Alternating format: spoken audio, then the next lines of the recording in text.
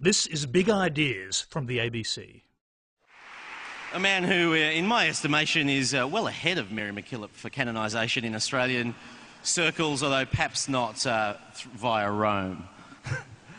um, we're here to discuss uh, this wonderful tome, Hitch 22. Uh, Christopher, may I call you Chris? No. Thank um, you, right?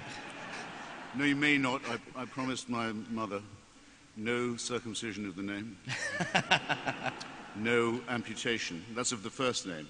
Right, okay, all right. Well, we'll, I've we'll amputated the second one. fair enough too. Well, we'll, we'll, we'll stick with Christopher then. Um, you've taken on many large and imposing subjects. Uh, Henry Kissinger, uh, a woman called Therese or something, I forget, I forget her name, uh, and um, God. Um, but you've taken on something a tad more substantial now y- yourself. I thought I'd ask you Yeah, to this, this time it's personal. the first memoir that's actually a sequel. Um, I thought I'd, I'd begin by asking, how did you find the experience of writing a memoir as opposed to your, your usual kind of excoriating grace on other subjects? Sweet of you to put it like that. uh, well, tough because normally I'm making a case, laying one down, trying to be an advocate, trying to explain, trying to marshal evidence, and so on. Um, in your own case, you aren't doing that, or I'm not anyway. It's not an apologia. Uh, second, um, I've normally been trying to see how much I could cram into a given number of words and how economically or tersely I could do it. And with um, memory, you keep finding, and mine's alarmingly good, uh, you keep finding you, you recollect more and you want to get it down while you can, so it balloons out a bit and bags. I, I gave the publishers much more than they asked for. And then, obviously, I suppose, it wasn't obvious to me before, you don't know how it ends. Um, so it was. So it was very useful to me that the National Portrait Gallery in London published a catalogue of pictures of a, a group of people who I used to be associated, well, still am associated with, in which I was referred to as the late. Because nothing concentrates the mind more than reading about yourself in the past bloody tense. and it was, that, it was at that point I thought, well, now I have an answer to the argument, isn't it a bit early? Hmm. well, you can't do it too late, can you? Well, certainly you, you, you- don't have the option of a prequel having begun uh, where you did, but uh, uh, perhaps a sequel on its way. How did you define the task of writing your memoirs? Did you, did you rule things in and out at the outset? Or, Yeah. and, and what did you rule out and why? out first. Um, anything about uh, people who'd um, indulged me in any way at all, unless they were dead, um, or public figures and were asking for it. uh, because you can't do that fairly unless you're willing, unless the book is only about those I loved, which it isn't. Uh, so I have no copyright in anyone but myself. That was one. Second, on the whole, only to try and write about myself when I was with people or in places that are otherwise intrinsically interesting.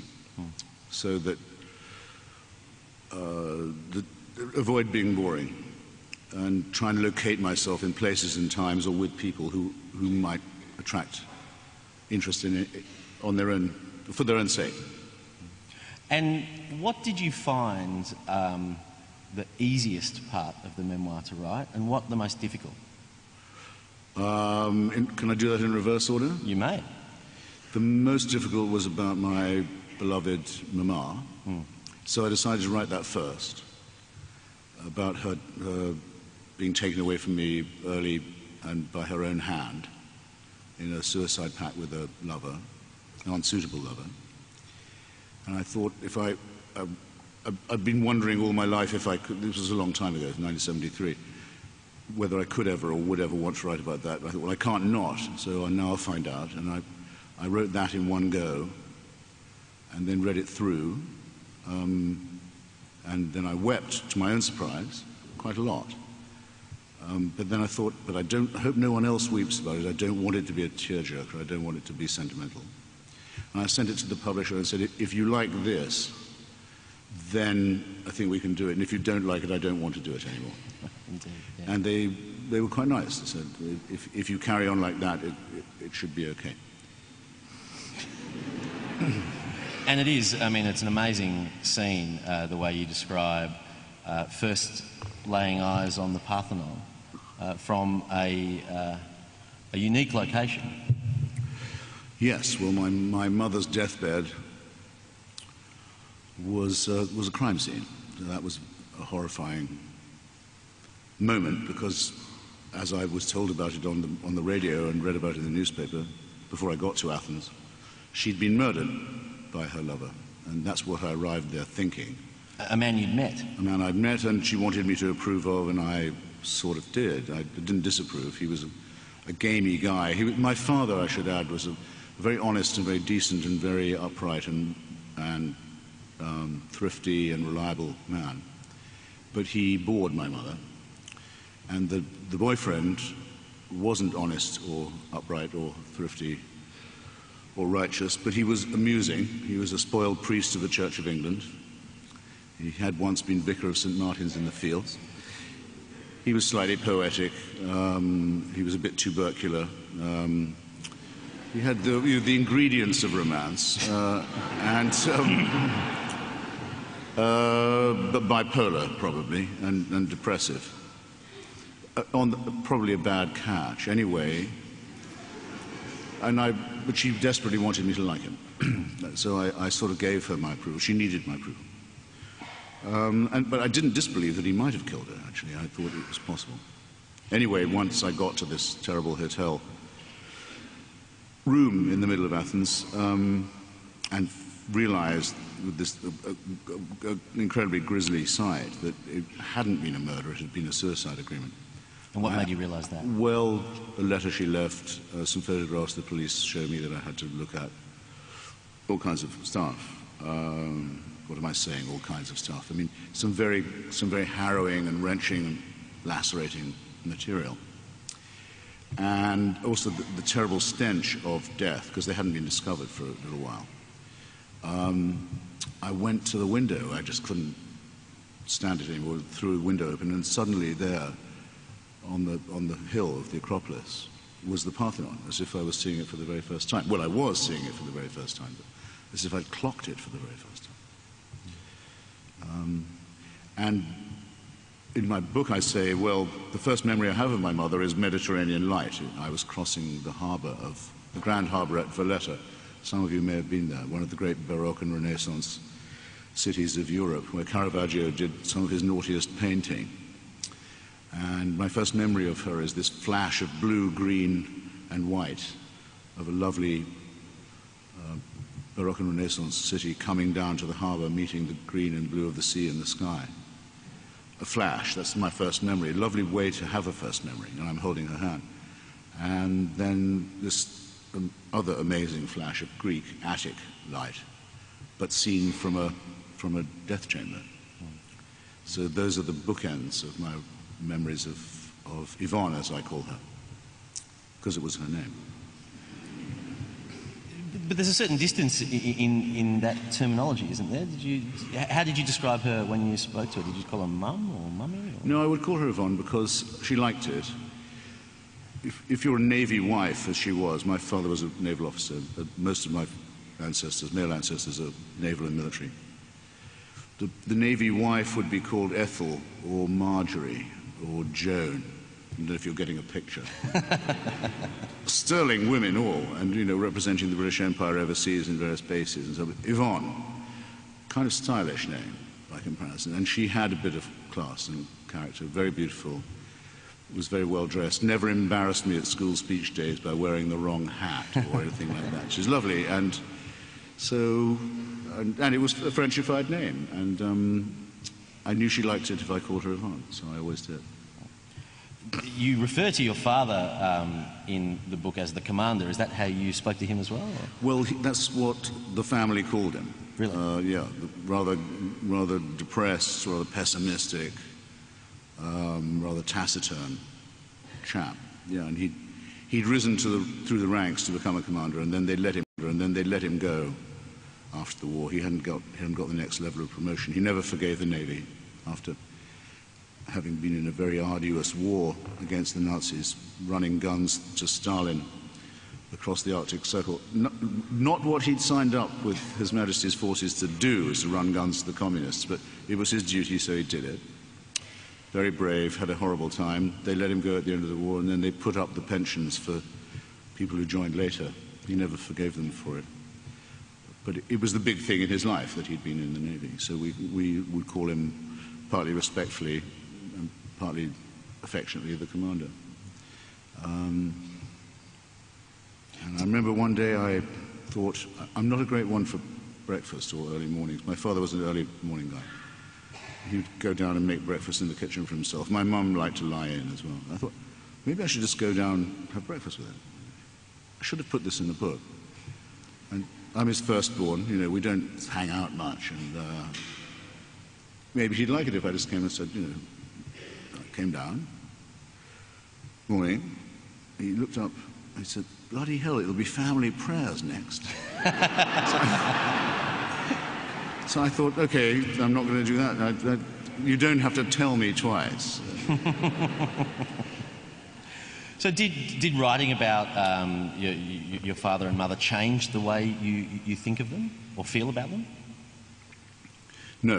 I mean, I, it, it didn't because I've, they've been gone for a long time and I've had a lot of time to inwardly digest all that. But there is another question that came up in my life long after my mother was gone, and as my father was dying.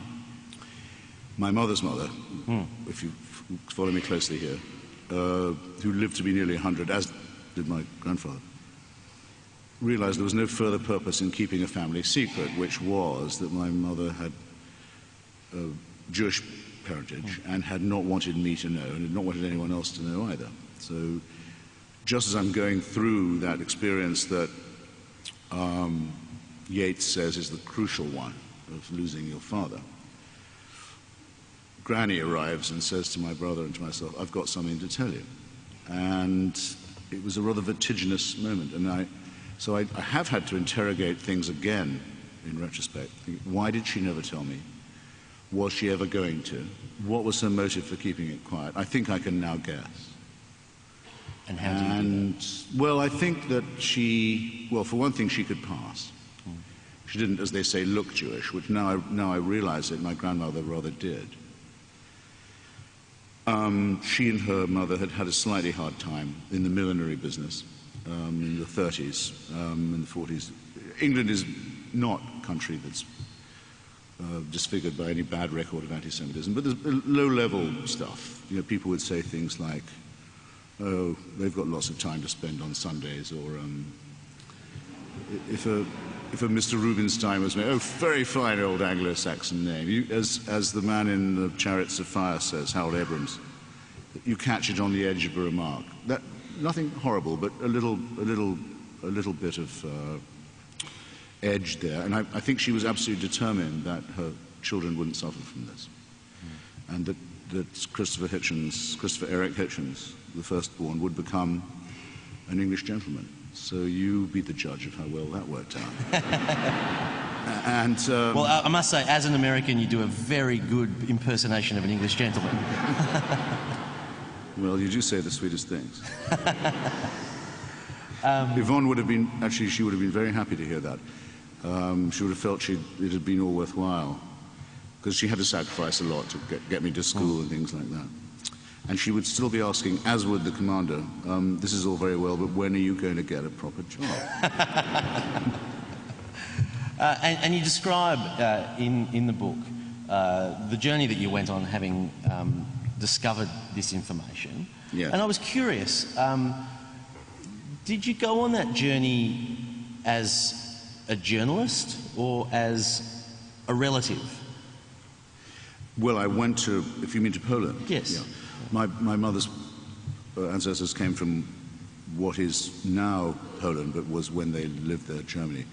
As, as you all know, there's been a lot of trouble every time that border has moved. Um, it's a very worrying area of Europe, and a lot of terrible things have happened there, and our, and our still buried there.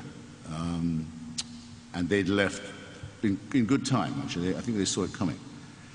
So half of my life has been spent writing about matters arising from the movements of that border. Mm.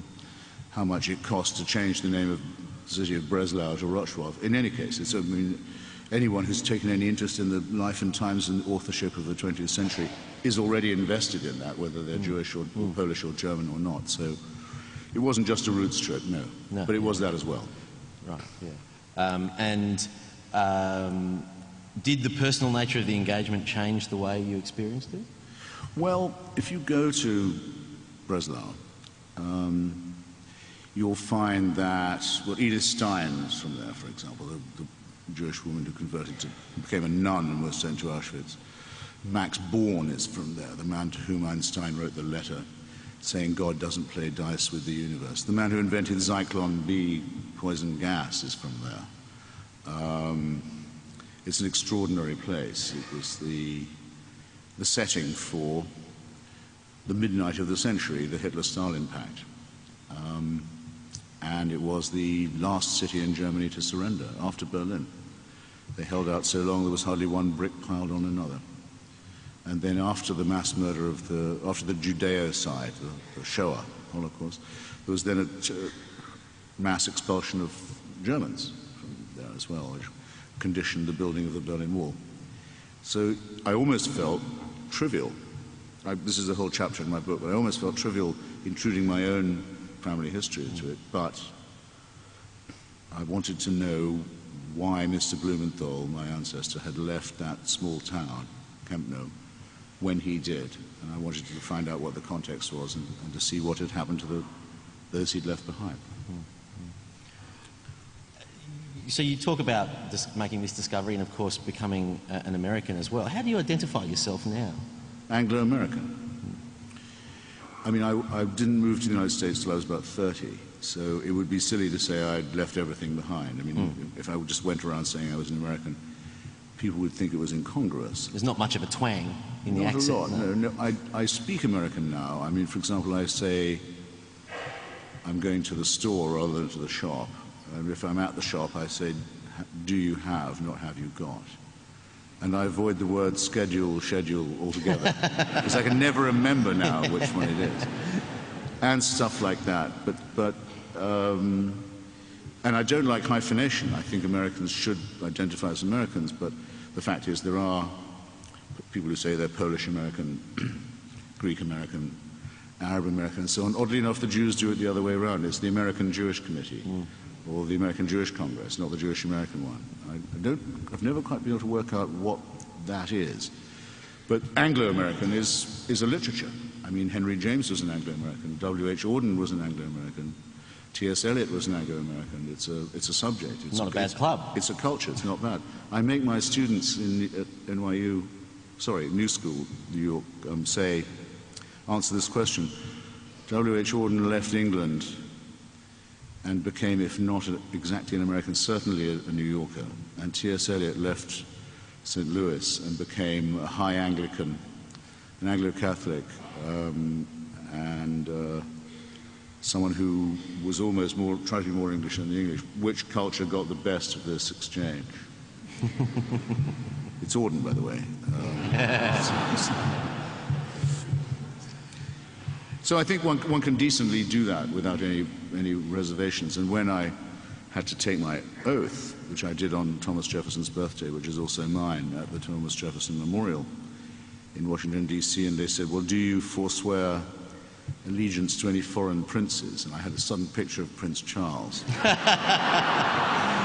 He'd gone sometime earlier. A sort of uh, a sort of bat-eared Islam fancying, no taste in girls. Um,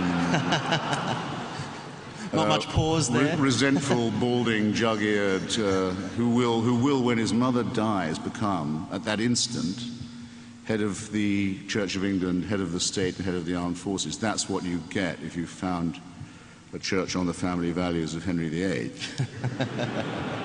I could see myself saying, no, I forswear allegiance to that, that prince I can, I can, without that prince I can do. Good night, sweet prince.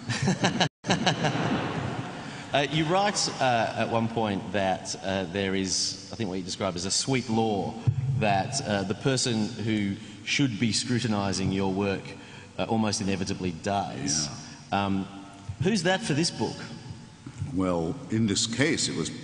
I once wrote a piece not long after I made my, my discovery of the family secret about my Jewish self, and it, it was called On Not Knowing the Half of It.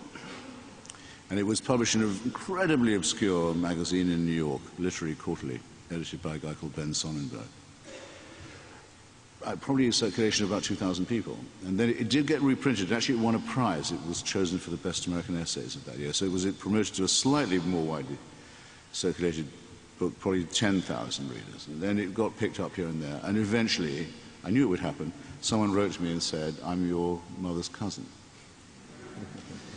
Uh, it's bread on the waters. It, it, it's bound to happen. Um, and I know exactly where Nathan Blumenthal came from, and I can t- give you directions to the old town in Poland. It took a long time. It's the same if you decide to use the word clitoris or something in an article. You think, my Aunt Grace in Tasmania will never see this piece. she never, she's just And not. the one day. I can safely say clitoris. She's never going to see it. And then uh, at Christmas. That's what Aunt Grace searched At to find the article. At Christmas, a letter arrives, and it's Aunt Grace from Tasmania, and she encloses a teddy bear because she's forgotten how old you are, and so on. She said, "I do, I do try and follow your career, dear, and I understand. I, I, I'm so thrilled that you're a writer. But someone sent me the most extraordinary article the other day where you used this word that I. I, I, I couldn't uh, believe you were doing it. Ah. No, you, you, you, you realise all your life is lived in public. Yeah. We, uh, well, I asked you earlier about the, the hardest uh, bit of the memoir to write. Um, uh, we didn't quite get round to the, the easiest or the most fun. What was that? Oh, the easiest um, is the chapter about Martin Amis, who is the only blonde I've ever really loved, um, or loved passionately and for a long time, and who's been a huge influence on me and is, is, is my best and my dearest friend, and, um, and who I didn't think of putting it quite like this when I wrote the chapter, but what it really is is an answer to the question, or an attempted answer to the question, can you have a heterosexual relationship with a chap? And my answer to this is probably not, but I'm willing to give it the old college try. And, and indeed, you've So given many a- things the college it's try. A, it's a love, it's a love letter. Yeah, the old college try has been a feature. Yes. Um, Where you? Oh well, no, I see. Yeah. well, go on then. well, no, you go on. No, you're the boss. Um, well, no, I mean, I, I, I, I was interested in that. I mean, you, you, you talk uh, with uh, uh, unusual candour about your um, uh, homosexual sexual experiences, uh, but then you, you, you talk about your friendship with, with Martin in a, in, a very different um, register. Um, are they entirely separate things? Yeah. I mean, the, the gay moments in my life were all when I was very young. And when, as it were, if you were looking for an excuse, uh, it would be, well, there aren't any girls around here anyway. They've locked us up in a monastic school. And what do they fucking expect? Uh, well, that's what they expect. Yeah. Yeah, that's what they expect. That's very- whether they expect it or not, that's what they got. And, but the, the emotions to my the emotions could be involved as well. Well, that's right, and you do you do talk about those experiences being experiences of love as well. Yeah, oh yes. Well, the, oth- the other reason I decided to include all this was you know, I live in a country where every now and then, and actually quite, quite strongly at the present time, that there are attempts to have homosexuality defined as a, as a, disease or a disorder. And not only in the United States, but by the, by the Catholic Church and others. And I thought, well, I think as a minor gesture of solidarity, I might as well say what 90% of male heterosexuals know, which is that um, gay experience is not unknown to them. And that, furthermore, that homosexuality is a form of love, not just a form of sex, and demands respect and, if you want, protection uh, on those grounds alone. So, to the extent I can con- contribute to that recognition, I ought to probably do so. Right. God, you, you wouldn't have thought there were so many bum baggers in an Australian audience. I thought, I thought mateship in Oz was strictly platonic. We don't do Plato here. um, uh, but to Martin, that's a very different. Uh, No, well, with Martin, that, I mean, the, the subject we had in common was very intense, very uh, uh, deep going, very uh, ruthless uh, scrutiny of the, the woman question, as viewed from every conceivable angle. And never over, the subject absolutely never over, and always ready to resume it, and uh, fascination with it. although it's not something you write about much. Well, no, because again, I don't have copyright in those in those uh, ladies. More's the pity. Um, and one of the things that, that uh, really comes across uh, in your friendship with Martin, but also many other people, is uh, the tremendous fun you have. You seem to be quite good at fun, uh, and in particular, uh, wordplay. Um, uh, what's your favourite word game? I was very lucky with Martin and, and others in the late 70s. We, we had a, a sort of lunch club every Friday in somewhere between, roughly between Bloomsbury, Soho, and Fleet Street, that world, where we'd all meet with um, Clive James. And I should say, I almost feel like pausing for a second in memory. Um, the late Peter Porter, one of Australia's most beautiful and brilliant ex- exports to, if he was an export, I think he always felt Australian, to England and one of the great contributors to English poetry and poetry criticism, and Terry Kilmartin, the translator of Proust, who was the books editor of The Observer, and a few others. And yeah, we would try and improvise word games. Um, the, uh, do you want the inexpensive one? Because it had to start low and then build. I mean, Start you- medium, but let's get to the high bits. Um, if you change the word heart in any common poem title or song to the word dick, Total eclipse of sounds the dick. Sounds cheamed at total eclipse of the dick. Yeah. I left my dick in San Francisco. Um, don't go breaking my dick. Dick Break Hotel? Uh, no. Dick, down at the end of Lonely Street in Dick Break Hotel. Yeah. Uh, that's when your dick aches begin. Um, the dick is a lonely hunter. So, so you, you, I, can, I can do this for quite a long time. Yes. but you, you would, we, we did the hard thinking about heart dick. Then, then you see, you, you play this. It's quite puerile. You'll agree. It's pathetic to be laughing at this kind of thing. But then, then one day, Woody Allen is interviewed about running off with his adopted daughter and setting up house with her. And he says, Well, the heart wants what it wants. Makes it all worthwhile. So th- then things would improve a little bit, and say the greatest player, the greatest player of all these games, and the man who really raised the whole level, about whom I have a whole chapter in. But by the way, the book is called Hitch 22, and it's published by Allen and Unwin. Available at fine, haven't read it, fine oh, no, bookstore. yeah. I've got, I can sell it to you afterwards. the whole chapter about Salman Rushdie, who is a genius at this kind of thing. And with Salman one day, it was, it was a dinner, and someone arrived late, having been delayed you know, on a flight. And he said, I had a terrible time being delayed on this plane. And not only was it a bore being delayed, but there was nothing to read at the airport bookstore except Robert Ludlum stuff. And he said, and I had to buy one. And I, I knew it would be bad, I had no idea how bad it would be. and that didn't seem very controversial or interesting. So he went on about it, though, and said, I mean, apart, it's the titles, these crap titles like, I don't know, the Eiger sanction, or you know how it goes. The, the, they're so bad I can't even remember them. But you know what I'm talking about. Um, and then, by good chance, someone said, Well, what would a Shakespeare play be like if, if Robert Ludlum had written it? And Salman looked up like that, said, Okay.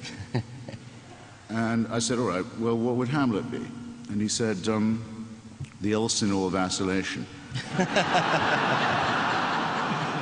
With no more time than I gave you. And I said, Well, all right, but you can't do that twice. What about Macbeth? He said, the Dunsinane reforestation. and So he could go on that we, as well. We went on through, we went on through um, the Kerchief implication, um, the Rialto sanction. He's a genius. And he then invented one all of his own, which was the titles of books that didn't quite make it. Um, nice try, um, The Big Gatsby, um, uh, Good Expectations. Uh, let me think. Um, for Whom the Bell Rings. Mr. Zhivago. Um, and I think I contributed at this point Portrait of a Woman, which I. but then he said, This I think is almost the best. At two days in the life of Ivan Denisovich.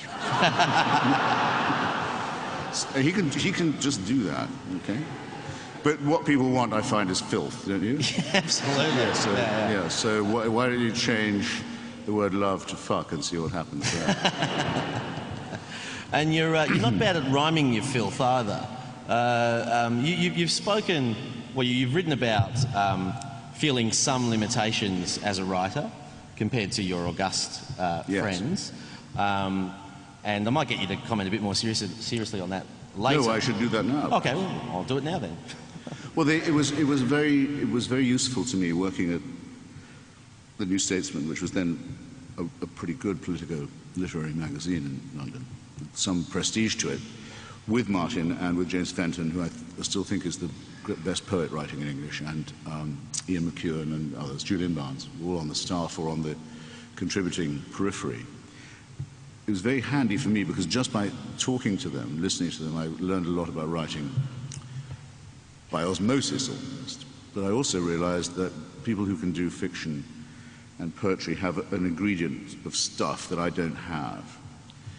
And so I thought, I'm not going to, my little ambitions for the bottom drawer, that slim volume, I think I'm not going to waste the public's time with that. I'll concentrate on the essay form. There I think I might contribute something.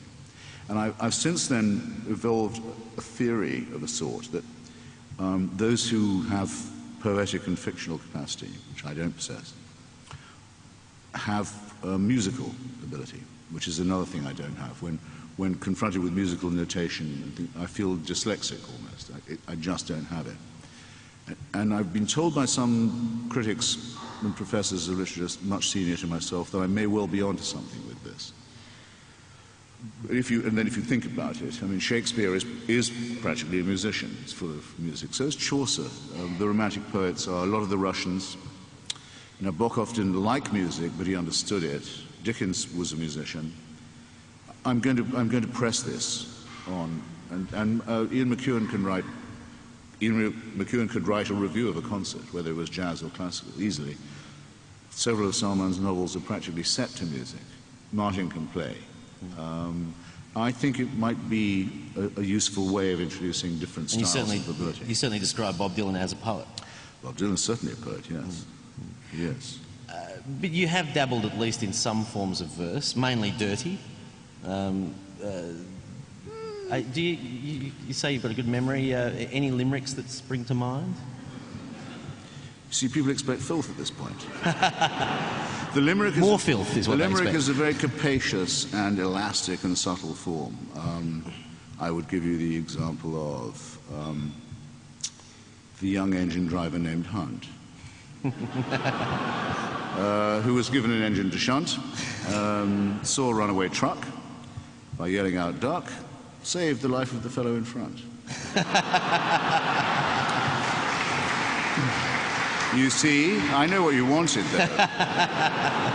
Whereas Robert Conquest, who is another member of this luncheon, he's now 94, he's born in 1917, um, a great historian, um, principally of the Russian Revolution, but of Stalinism, and the master with Philip Larkin and Kingsley Amis of the Limerick. And he, everyone here knows the speech from As You Like It, The Seven Ages of Man, Jacques' address on all the world's a stage and all the men and women merely peers. They have their exits and their entrances, and each man in his time plays many parts, the, these being seven ages, right? You've got it in your head. see at the Opera House you were Here's- doing um, you were doing Monty Python, so I we're can do- really I can- up. I can do the philosopher's song too if you want. yeah. But um, so here's the Seven Ages of Man as done by Robert Conquest. Seven ages. First puking and mewling, then very pissed off with your schooling, then fucks and then fights, then judging chaps' rights, then sitting in slippers, then drooling. Shakespeare was so damn verbose. Jacques, Jacques' delivery is 28 lines, and this is five short ones. And Conquest also did the history of the Russian Revolution in a limerick. I don't um, suppose you can recall it, can you? The, there once was a fellow named Lenin who did two or three million men in. Um, that's a lot to have done in, but where he did one in, that old bastard Stalin did ten in. and then Calvin's theory of predestination can be done in a limerick too. And you, you, do you recall it? There once was a man who said, Damn, it is born in upon me I am, a creature that moves in predestinate grooves. I'm not even a bus, I'm a tram.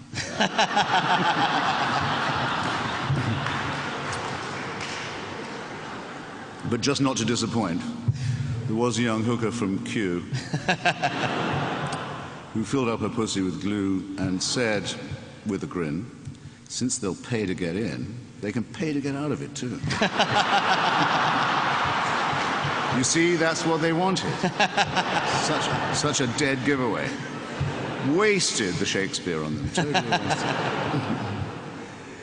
Now, look, I hope at this point you'll afford um, me the courtesy that I think um, Isaiah Berlin afforded you of a, a, providing a polite answer to a question that you get asked all the time um, about the things that you, you, you uh, didn't write about in, in the memoir. But I wanted to ask one thing that I, I haven't heard you asked about yet. Um, you don't write much about your brother. No. Why not? Um, Because, I mean, you've had a very public history. yes, and I thought that people can already read that if they want to. So I didn't want to go over old ground at all. And because since we were very small, we haven't lived in the same town or uh, been in the same job or had very much contact. Have you discussed that with him? Was he, is he a bit miffed?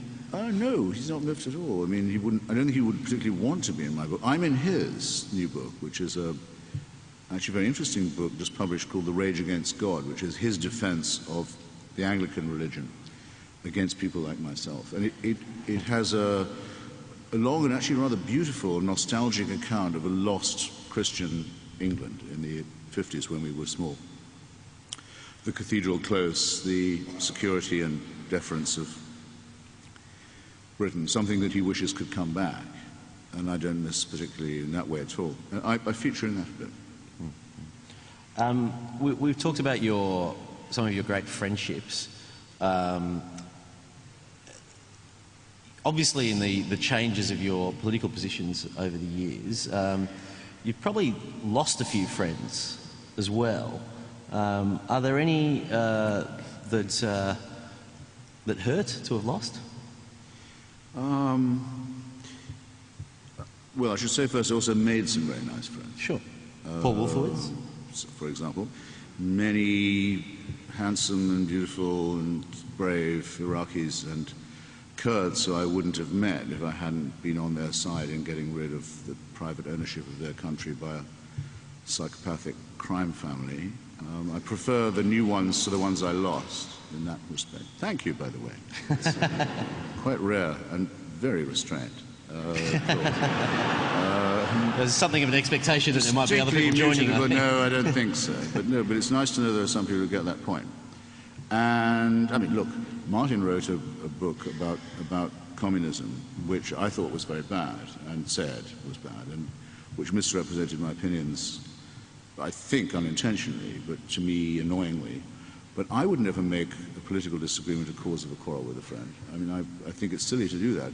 But there's a tendency on the left, and I bet there are people here who know what I'm talking about, to think that if someone in any way dis- disagrees with the left, it must be for the lowest possible reason. And that if you found the lowest possible motive, you found the right one. There's this whole culture of no one would, would leave us or quarrel with us if they weren't a sellout. It's actually a very sick mentality and very widespread. And people who think like that or feel like that um, can dump me if they want. But that's almost as much as to say that they weren't much of a friend. Anyway, I'll pull myself together and go out and find someone nice to be friends with. So who, uh, who do you rate Or highest? someone more principled, perhaps, or more courageous. Okay, well, who do you rate highest? More courageous. Okay, well, who do you rate highest of your new friends? That would be telling. I was asking. Not telling you, sweetie. um, I'd have, I would, you wouldn't know their names, but I mean, they would, are people in Iraq and Afghanistan and elsewhere who are on, I won't say on my side, who are on our side, on the side of civilization against barbarism and theocracy. They're worth knowing. Uh, it's been a, a wonderful thing in my life to find them and count them as friends. It's a matter of elementary internationalist, socialist solidarity to me to be on their side and on the side of their long oppressed women folk. Actually, I will give you a couple of examples. Uh, It seems to me that the three most beautiful words in the secular language now are um, Ayaan Hirsi Ali, who's become a great friend of mine, and who's um, that's better, and who has been through rape, genital mutilation, forced marriage to a relative or close to a relative, uh, beaten, uh, brutally treated, exiled, and so on, and who genuinely considers herself to be a lucky person because she's probably the only survivor of her class in Somalia who's still alive and who witnesses for the most important thing of all in this combat, which is the, the rights of women. And the, and the empowerment of women is the only cure we know uh, to poverty and deprivation. And um, just being able to find myself a friend of hers and speak up for her and say a few words in her behalf is, is I tell you, is worth a lot of disapproving gazes from Michael Moore, say, who is, of course, also very beautiful in his own way. You, um, uh, obviously, you know, your, your, your stance is on um, uh, Islamofascism, which I think you to, you, you've coined? You've, you've Well, not quite. I mean, I, when I wrote my re- reaction piece to 9 11, I said it's fascism with an Islamic face, which is a borrowing that some of the older comrades here will remember from, from what Alexander Dubček said about socialism with a human face in Czechoslovakia and what Susan Sontag said at a very famous meeting in solidarity with Poland in uh, 1982 uh, that the military dictatorship in Poland was fascism with a human face. Um, so, but you can't say fascism with an Islamic face every single time. So, uh, and anyway, not everyone's going to get the reference every single time. So it got a bit compressed into Islamofascism, which isn't, doesn't quite have the same resonance. But there we are. We need a word for it. But, but you've written, as I say, um, very publicly, and everyone knows the, the kind of the, the changes uh, or the perceived changes in your position on, on these things and supporting the, the war in Iraq. Um, you've also written at great length and, and fantastically about um, founding fathers, uh, and in particular uh, Jefferson.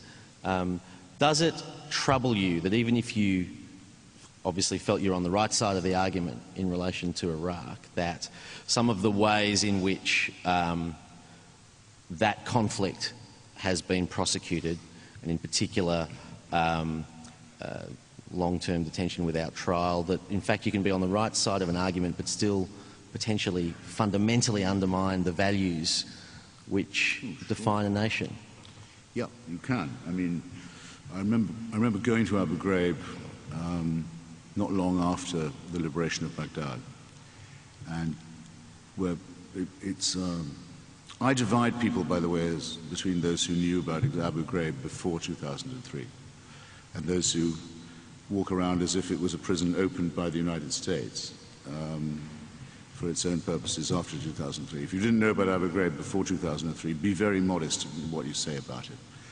But it was a place where, at one point, it was an industrial execution shed and torture chamber where hundreds of people were hanged every day, often from the same beam at the same time. And where, when, when it became overcrowded and the numbers needed to be culled, the guards would go out with the list of names around, around Baghdad and go to the families and say, we can keep your son off the list for execution if you give us a thousand dinars and so on impossible to deepen the night, the sort of the pornographic element of the Saddam Hussein regime, and the smell of the place when it was broken open is with me still. And I remember saying to the people I was with, don't, don't use this anymore. Don't try and convert it into a prison. This place needs fire from heaven. It, it should just be blown up and salt should be sown in the ruins. Don't try and use it. It's evil. I actually think evil is a word you have to use. You can't do without it. And evil has a particular stench, and I can personally claim to have smelled it, winded it, scented it. Anyway, no one listens to me. I often think that's, you know, a lot of what's wrong.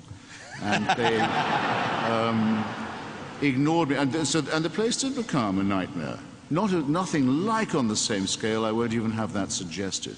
Prison conditions in Iraq have vastly improved since the arrival of the coalition forces. Anyone who doesn't know that is a fool.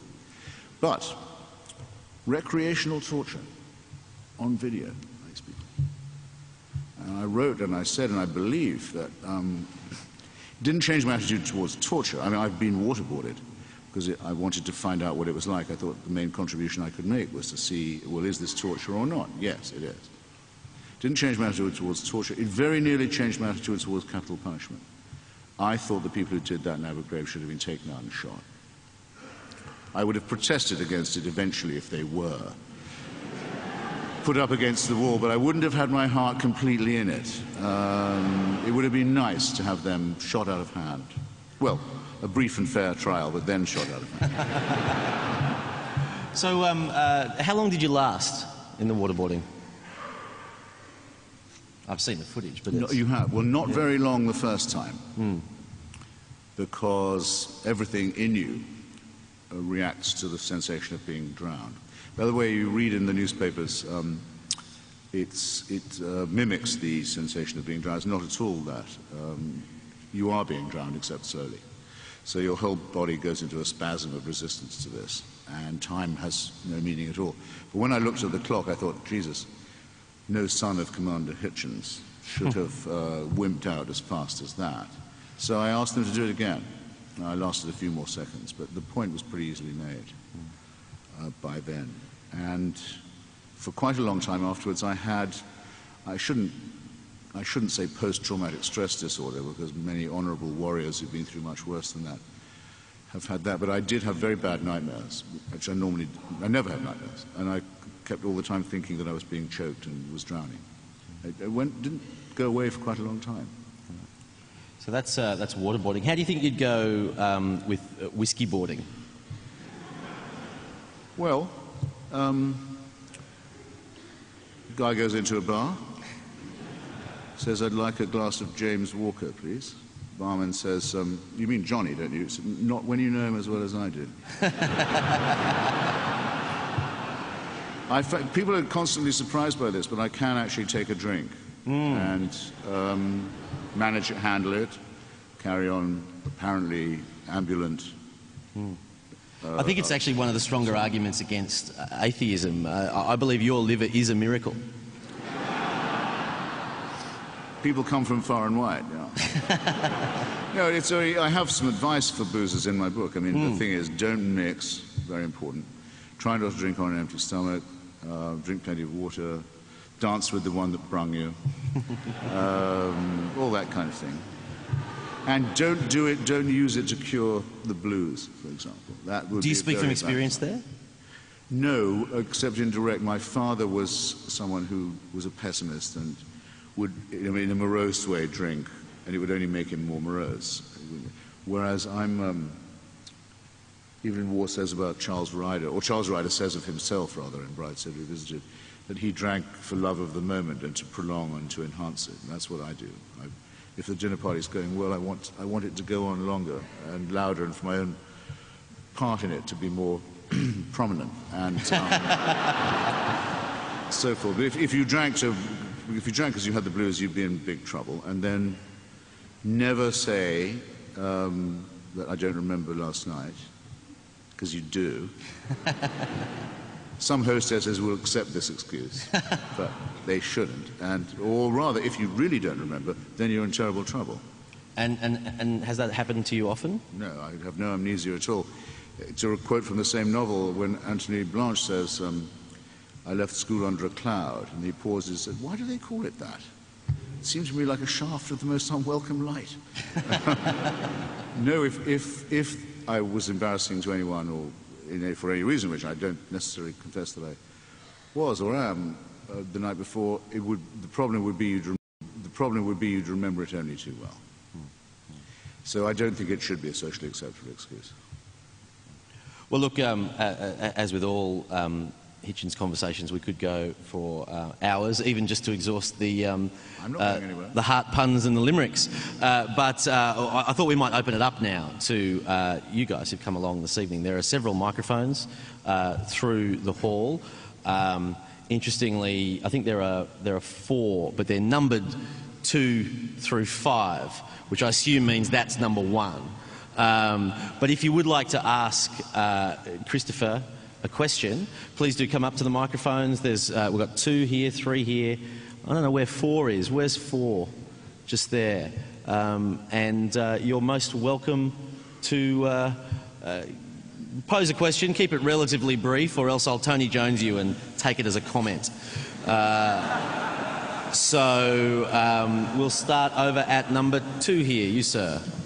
Um, with greatest respect, Hitch, um, given that you're being very reflective about your own life and your experiences, um, I was wondering if you had a few comments about Erik Prince, if you know the man that I'm talking about when I say that. The artist formerly known. No. no, that would be the, um, the CEO of Xe, now Black, uh, Blackwater, now Xe, um, with his own Christian dom- dominionist take on the, the war on terror.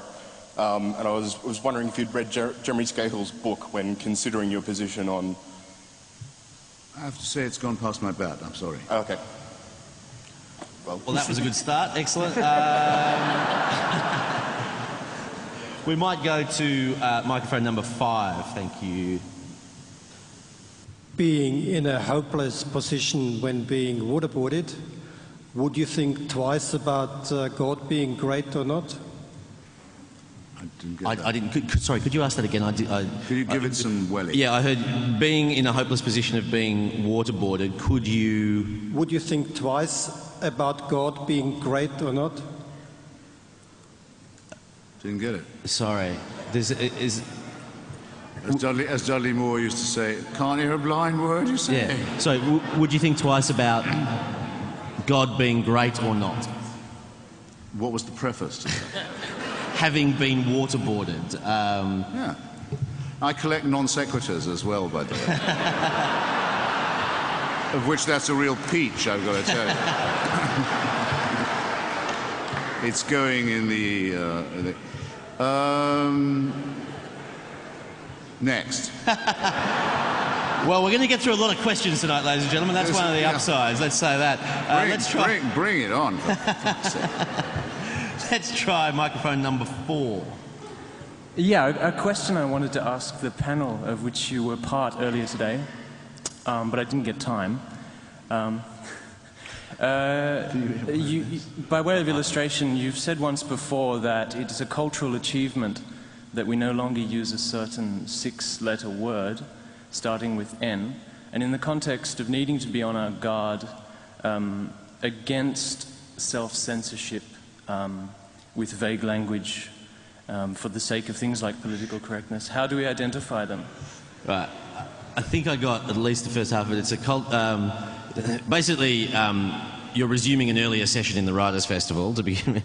Uh, but you say it- it's a cultural achievement not to use a, uh, a six letter word starting with M. N. N, right, okay, Yeah. well, that does prove how difficult it is to hear up here. Oh, Um, sorry. Could you repeat the second half of the question? This is Oh, just this is just going to go fantastically. Why don't you Yeah. Um, take it back? yes. Tell them yeah. all to sit down. That's right. Look, we'll, we'll we'll try a female voice. It was nicer with How about that? Didn't you think it was nicer when it was just the two of us? I was having a ball.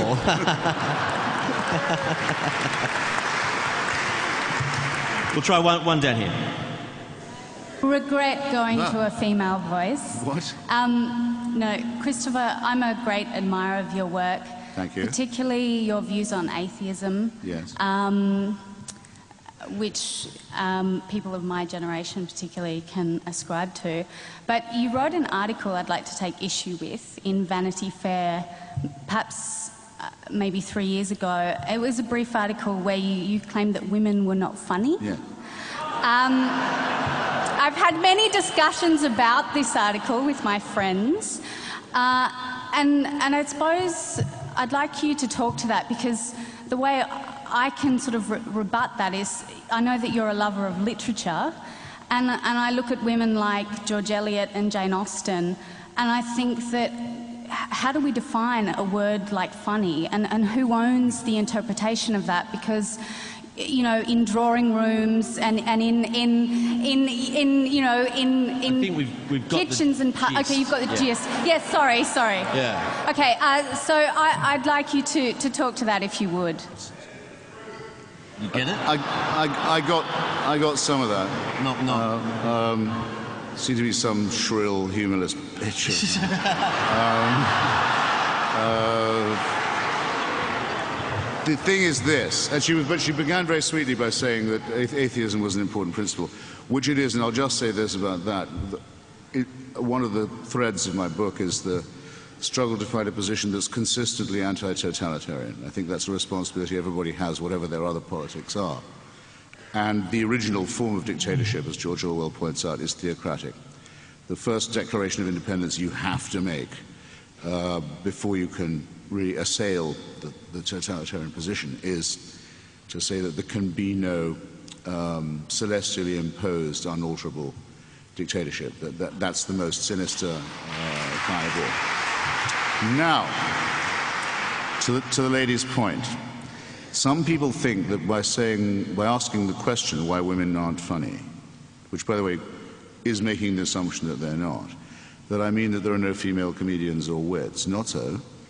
Um, but you will notice of um, Roseanne Barr and Sarah Silverman Say, for example, both of whom wrote to me saying they thought I was right about this, that the female comedian is either a dyke or a Jew um, or in some other way a man.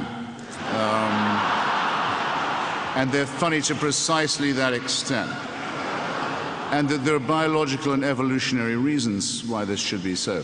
Uh, if you, ladies and gentlemen, I invite you, if you, if you today, tonight are talking to a friend who says, if it's a she, I've just found a, a great new chap, it's a moral certainty that she'll say, and he really makes me laugh. You've heard it, haven't you? When did you last hear a guy saying, I've found a really precious new squeeze, and then he'll say a couple of other things that I'm not going to share with you. And he's not going to say, and she keeps me in stitches. Or if he does. Does that say something about And women no, or the priorities no, of men? No, it's, uh, both, because women, because women don't need to be funny. They can be if they want, but they have no need to be in order to make themselves attractive. They are to men, if you follow me, already attractive. Um, whereas for most men, what, what are their chances of getting laid if they're not funny?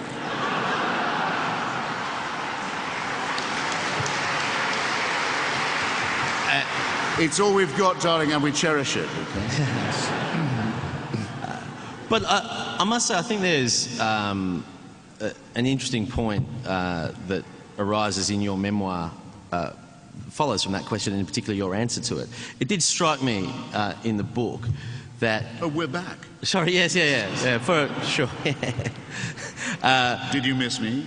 oh, it was terrible. It was far cleaner uh, in the, the masses. Um, it did strike me that you, you seem to write, I think, quite viciously about women often.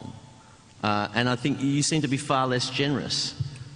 Well, tell me where I was vicious about. Uh, you refer to um, the, the incident of, of visiting the prostitute with Martin Amis, where you describe her as a, I'm trying to remember the adjective you use, but it's the something bitch.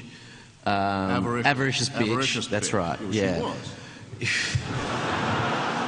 She was a, a greedy little minx. Yeah. Well, without You could see it in her eyes.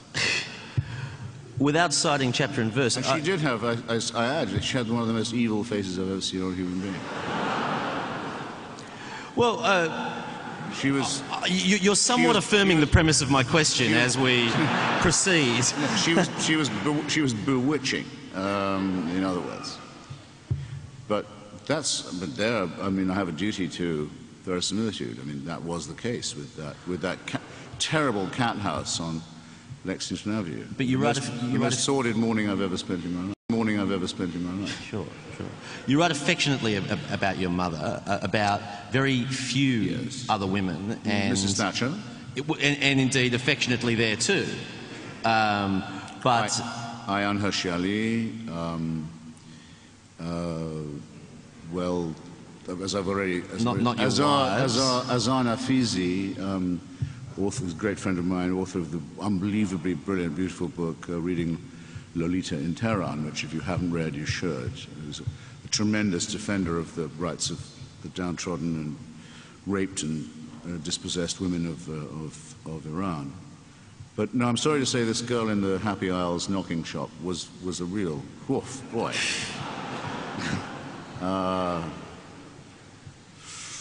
even now, I can think of it. But it was the greatest, that outing with, with Martin to the, to the handjob parlor was w- the best example I've, I can think of of turning lead into gold because it was fantastically sordid and nasty and depressing expedition he made me come on. Field work, he said, for his novel, Likely Story, uh, where this, this girl tried to keep on b- bidding me up all the time. Uh, every time I agreed to a price, she'd raise it. Um, as I say in my report of it, the price was the only thing in the room that showed any sign of enlarging itself. But when I later read that, the relevant chapter of, of Martin's novel Money, I realized it was all fine. That, that, these girls didn't know it, these avaricious minxes, but they were in the service of literature that day. And they have an, they've written an imperishable page. All right, uh, well, we'll, we'll, go back to them, shall we? For, we'll just give it one more go. We're going to try microphone number three.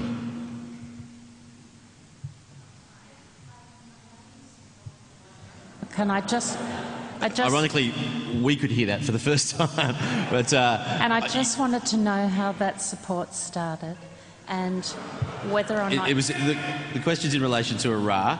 how did your support for the war in Iraq begin, and do you now consider the war that you've supported a success? Okay. Um, a theme of my book, which I had thought at one point of calling both sides now, is the operations of the dialectic and the way I could, as it operates in society and internationally and in the economy and so on, and also in, in my own cortex. So the one reason why I supported intervention in Iraq was because of my long history of opposition to it. I've been going to Iraq since the mid 1970s, since just before the time, in fact, when Saddam Hussein managed to get all power in his own hands. And I'd seen the steady evolution of the country into a, a one man show run by a psychopathic crime family, as I've already said, with aggressive designs on its neighbors, um, committing genocide within its own borders, using weapons of mass destruction both inside and outside its, its borders, and borrowing from the worst of both fascism and Stalinism in its ideology. And I, I realized that the, the anti war position, the position of containment of this regime, was based on a false premise, which was that this uh, psycho leader uh, understood self preservation and understood deterrence and containment and sanctions and so forth. That's absolutely not true. Whenever he can, he makes the most insane possible decision. And this is very terrifying. It's uh, not unlike the dealings we're currently having with both North Korea and Iran. You cannot be certain, if indeed you have every reason to doubt, that unlike as with, say, the Soviet communists, that these people have any concept of rational self-interest. They may even indeed be suicidal. Uh, so there's no possibility of relaxation while they're around. You can't sleep, and there's no possibility of coexistence. Ultimately, I believe our civilization, our civilization's existence is incompatible with, with um, neurotic expansionists, latently and blatantly aggressive, uh, xenophobic and theocratic regimes. So, and I I give a whole chapter to showing exactly how my mind changed. It's not about what I think, it's about how I think, which I hope is more interesting. And I, if you buy it, I'll sign it. um, and as for now, well, um, in 2003, Saddam Hussein organized a referendum in his own favor, in which, for the first time in Iraq, and I think for the first time in recorded history, uh, a, a turnout of 100% was claimed, as well as a recorded vote for the only candidate. Never been done before, with people forced to jump up and down, ululating and cutting their wrists to write their ballot papers in blood and shouting for jihad and martyrdom and self-sacrifice. Unbelievably horrifying business presided over by the dictator and his two sons, the, the voluptuously sadistic and deranged Uday and Kusai, whose succession was the thing we'd be living through now if uh, we'd allowed the chance to occur. Now, uh, the president of Iraq is Jalal Talabani, who I met when he was the leader of a gassed and murdered and dispersed Kurdish people, a guerrilla, a guerrilla socialist leader in the mountains in 1991, the first ever elected president of Iraq. His party is the corresponding party of the Socialist International. His people, the Kurds, have an autonomous zone protected and self-governing in the north-eastern provinces of the country. There's a written constitution, there's a parliament, there's a court of appeal, a free press, regular elections. I know a lot of people think that it would have been better if we'd left Saddam Hussein alone, but I can't be of that party. I'm terribly sorry. I think this is an improvement. For your answer. You, make the case passionately for um, the invasion of Iraq. What intervention? In, intervention Libera- in Iraq. Liberation. Liberation, sure. Um, what um, do you not think that um, it should follow that America should intervene in all situations where um, the values of uh, liberal democracies are being undermined, or what's the tipping point for you? Well, first, the, United States um, and its coalition allies are in Iraq still under a United Nations mandate to reconstruct the country. So it's not a, a unilateral intervention, and the, uh, in my opinion, there was no need for a second resolution for the intervention after the Security Council had voted nine to nothing to say that Saddam Hussein must either come into compliance or face grave consequences, and the certainty is he never came into compliance. Iraq is now in compliance with the resolutions on weapons of mass destruction and has been inspected and now can be said to be free of them, but it couldn't have been said to be that before unless you're willing to take on trust uh, Saddam's regime itself, which I wouldn't recommend. I don't think after its record it was entitled to the smallest scintilla of the presumption of innocence. So that's the first thing. The second thing is, what do you have to do if you're a state to sacrifice your sovereignty? How far do you have to go? Well, there are four possible conditions. One is you invade and occupy the territory of neighboring countries. The second is if you violate the Genocide Convention, which mandates, by the way, if it's broken, it mandates action by all its signatory powers. If you can't, either to prevent or if you can't prevent, to punish the genocide.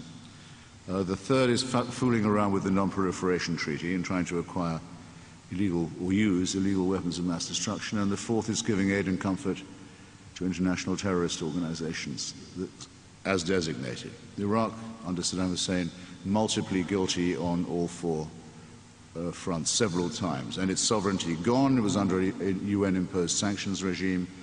Most of its airspace was patrolled by foreign aircraft to protect its people from a renewal of genocide. It was a matter of how long it could stay half slave and half free. I think that question was resolved the right way. Now, I don't know of any other regime that qualifies to have lost its sovereignty in quite that way. Robert Mugabe did send some mad troops into the crazy war in the Congo, but you can't say he invaded or occupied a neighboring country. He doesn't have any weapons of mass destruction. He doesn't give sanction and cover to international terrorist groups. And even though his policy of food denial to areas of the country that don't support him is certainly criminal. I don't know if it would quite raise to the level of the Genocide Convention. And would you make the same argument about North Korea? North Korea, um, is openly in breach of the Non-Proliferation Treaty. Not that it's ever signed it, but I mean, in the uh, principles of same, um, it's, it's starvation of its people to a point where they're six inches shorter than South Koreans. It's a lot of starving, starving and stunting people down to that extent. It's a terrifying commitment to keeping your people hungry. And it's a good question as to whether you can commit genocide against your genocide against your own people. I certainly think it's worth discussing. Undoubtedly supports international terrorists and gangster groups, without any question, as it does narcotics smuggling, um, currency forgery, and all, all manner of other uh, outlaw things.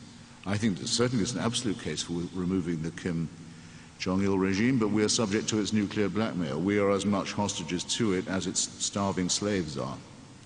But on principle, of course, of course, yes. They're looking for a war with us, and they will probably, I think, have one. I think we should pick the time and the place of it and not them. Totalitarian regimes are incompatible with our existence. That will be found out one, however much we wish it wasn't true, it is true. It will be discovered. Uh, it will be forced upon us, that, that awareness, if we don't develop it for ourselves. I w- I won't pursue that. I'll give the uh, uh, microphone number two the chance to ask a question. Um, fun though discussing Iraq uh, is, um, you can't, can't turn it into a filthy limerick, can you, Christopher? so, uh, number two.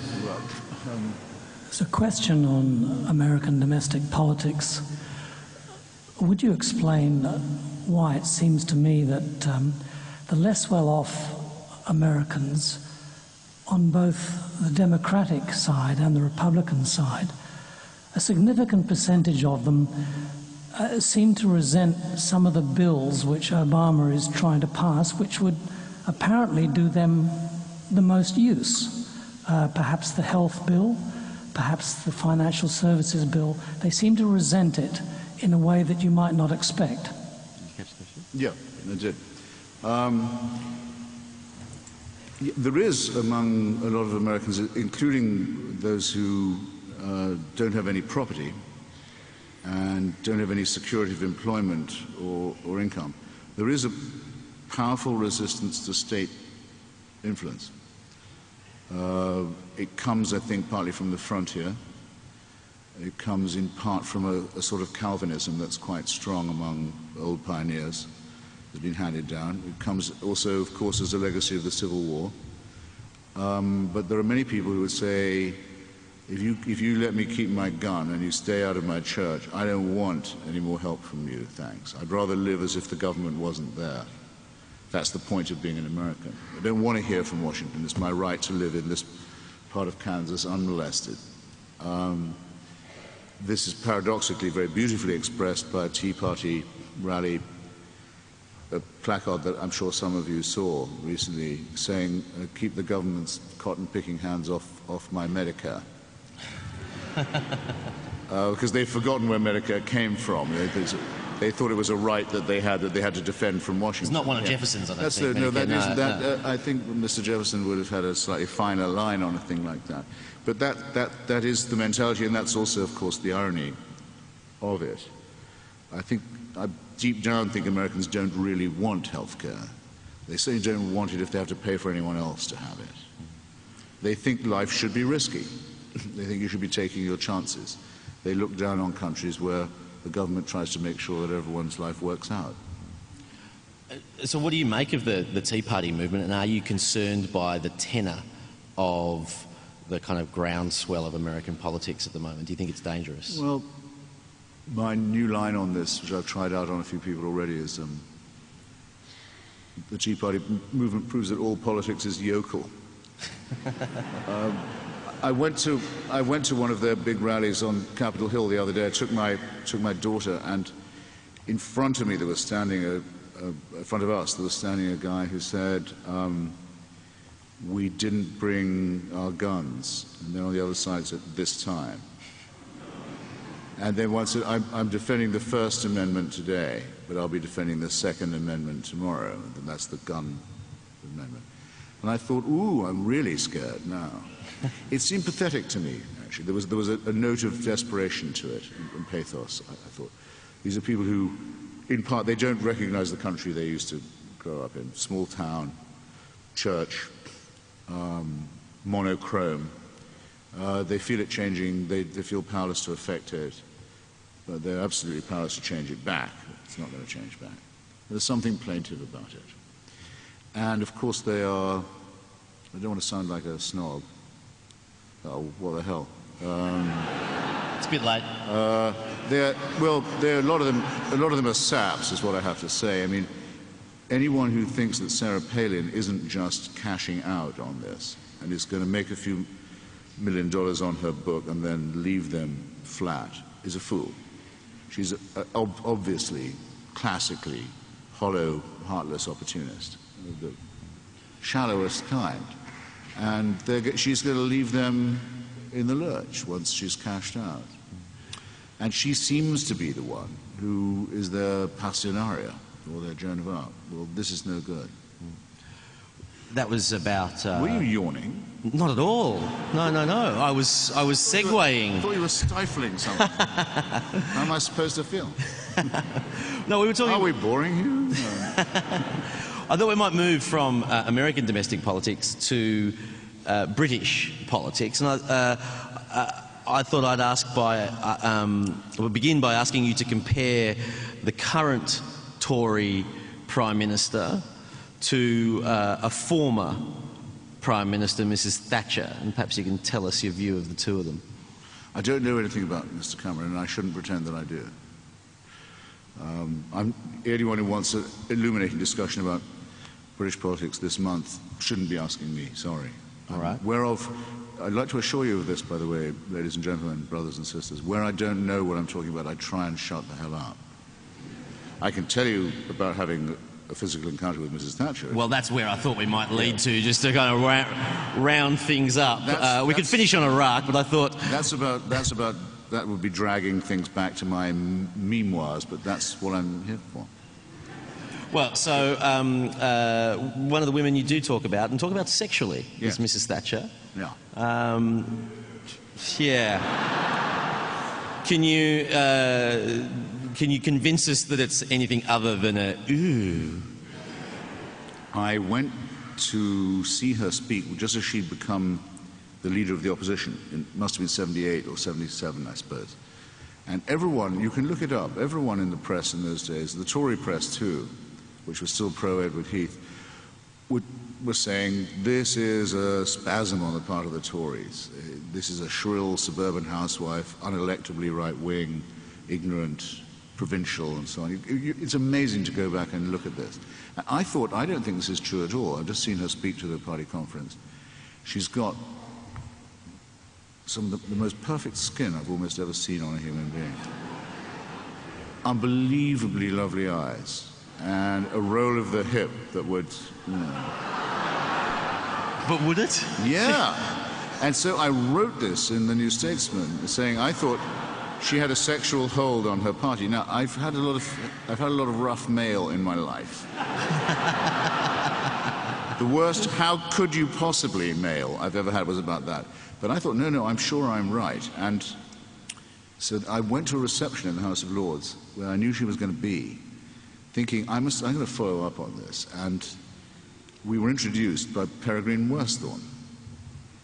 And I thought she recognized the name, because I think if you're the leader of the Tory party and a young man, then rather a handsome young mammal, um, working for the leading socialist opposition paper, says she, he thinks you're sexy, it's possible you remember his name. Anyway, it seemed to me that she did. So we got into a fight about Zimbabwe, then Rhodesia, where I was right on the point of fact and she was wrong but where she stuck up for her position so well that in the end I thought, ah, it's not that big a point. I said, well, no, doubt there's much in what you say, uh, ma'am, and I, I bowed as if to acknowledge that we could move on. And she said, no, bow lower. And I felt all volition leaving me. And I bowed further and straightened up again, and began to say, no, no, much lower till I was bent right over, and she'd been rolling up the order of the day, the parliamentary order paper, behind her back into a tube, stepped round behind me, smacked me on the bum. and I regained the vertical with some difficulty. and she walked away and over her shoulder said, Naughty boy.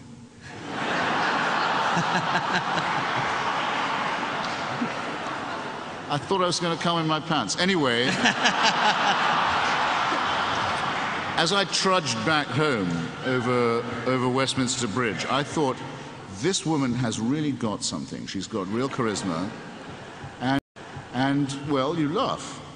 But every single male opponent of hers in the old Tory establishment was within a couple of years completely taken off the chessboard and put back in the box without compunction and on their part without resistance. They, couldn't, they could do nothing to stop. She, was, she magnetized them, she hypnotized them, she had them under her spell. And I think I was very lucky to get an early glimpse of this. And it's in my book, and if you buy it, I'll sign it. Did you, uh, did you meet her uh, many times other than that? Occasionally, a car would draw up with no uh, license plates outside my apartment, And you assumed the position. and uh, cur- the curtains drawn, and a chauffeur would. Uh, but it doesn't do to bandy a lady's name too much. We have time for one more question. I do apologise to those who've uh, been waiting at the uh, microphones, I'll, but I will go to microphone three. No, if you have, but if you had to give up one, which passport would it be, the British or the American? If you had to give up one passport, which would it be? That's a waste of a question. Pass. Okay. Well, I'll I'll take your lead on that one. Question Anglo-American. Anglo-American. All of the above. We'll take question number two then. Come on, comrades. One cracker to finish us off. Yeah. Yeah, the other night on, um, I think it was ABC Radio, you commented on your distaste at seeing the uh, David Campbell scandal on the front of the paper rather than the situation in North Korea. I was just wondering um, if you could comment on the evolution or the generation of journalism you've seen throughout your career. Missed Nothing? Nothing. All right. Well, uh, unfortunately, we, it, it, Have you got one? uh, well, yeah. Uh, I would like you to give us one and your dirtiest limerick to conclude, if possible. They tend to be clerical, um, the really dirty ones. Uh, was a young fellow of kings whose mind was upon higher things, but his real desire was a boy in the choir with an ass like a jelly on springs. That's not very dirty, though, but it gives you an idea. It's a curtain raiser for the anti-clerical. Um, uh, the bishop of central Japan used to roger himself with a fan. And when taxed with these acts, he replied, it contracts and expands, rather more than a man. but you see, you can do it with almost no dirty words. That's the key thing, I think, is to keep it, keep it filthy but not smutty. Um, a vice both obscene and unsavory holds the Bishop of Barking in slavery. With lascivious howls, he deflowers young owls that he lures to an underground aviary. Well, And okay, you want one dirty one then, because these are suggestive, shall we say, but not not. Um, it's, it is said of the Bishop of Birmingham that he fucks little boys while confirming them. They kneel on the hassock. He lifts up his cassock and pumps his episcopal sperm in them. That's quite dirty. and on that note, uh, but very contemporary, I think. Indeed, very indeed. As the as the um, as the new Elton John song for the Vatican now goes, "Don't let your son go down on me." Well, ladies and gentlemen, there's absolutely no doubt uh, that Australia loves Christopher Hitchens. It's wonderful to have you here. Love him back. Hitch 22 is the book. It will be signed in the foyer afterwards. Ladies and gentlemen, Mr. Christopher Hitchens.